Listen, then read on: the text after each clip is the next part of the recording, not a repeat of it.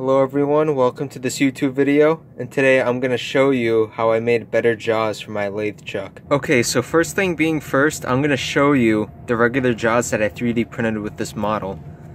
So what the problem is, if I can get you a better look, you can see when you tighten the jaws, there seems to be that little gap right there. Let me turn off the light and see if you can get a better view. Alright, so let's see, uh, you can see it right there. See that little gap? So what that does, that doesn't give us the maximum amount of surface area of grip that we can have on our workpiece. So that's the main problem with these jaws that come stock with the chuck. Alright, so to counter that problem, I 3D printed a new set of jaws for the lathe chuck. And I made a slight angle of plastic right there. So what that does, that gives us full grip on our workpiece, so that so that eliminates the gap. Alright, so now we have our workpiece in, and as you can see, there's no gap right there. Yep, zero gap. So that angle of plastic that I 3D printed on the jaws, it pretty much counters uh, the flex in the jaws and will compensate and give us full grip on our workpiece.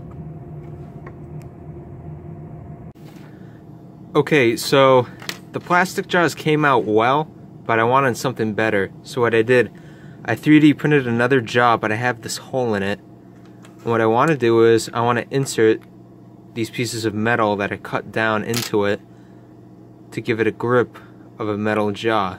So, I'm going to put them in.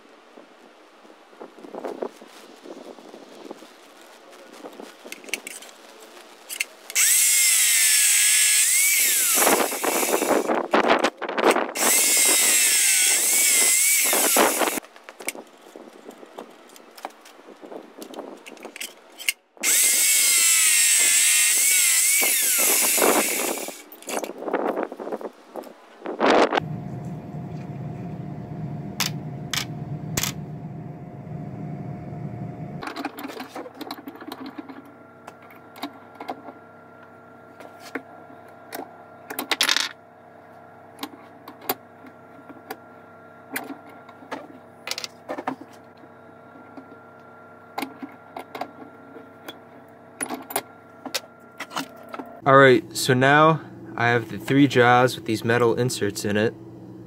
So, alright, let's see how it works. Alright, so now we have our copper pipe in, and overall, grip's pretty nice. There is a little bit of a gap on one of them, but the other two, they really, uh, there's a little one, but I'm not really concerned too much about the gap, because on the plastic ones, the plastic didn't really have too much grip strength, so then it would decrease the grip, grip strength a lot, but these metal ones have really good grip strength.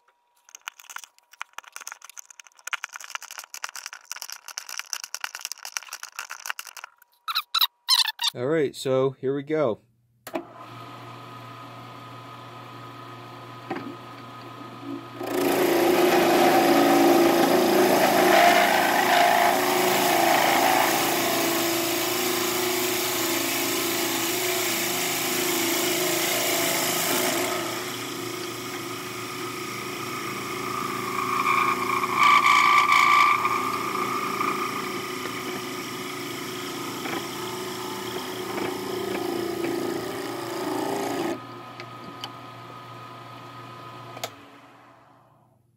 Alright, that cut really nice. So let's see if we went all the way through.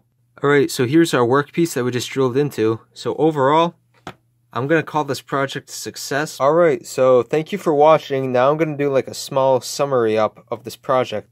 So overall, I would call this project a good success because I just made metal jaws for a 3D printed lathe chuck, which in my opinion is pretty cool. Now, if you like seeing this video, make sure you subscribe to my YouTube channel because I really want to grow this channel because I think I can make some cool stuff with support from other people because it really motivates me to make more videos. And if you haven't seen the video already on how I made this lathe chuck, I'm going to have a video probably right about there If you want to subscribe, click right here. So thank you for watching. Goodbye.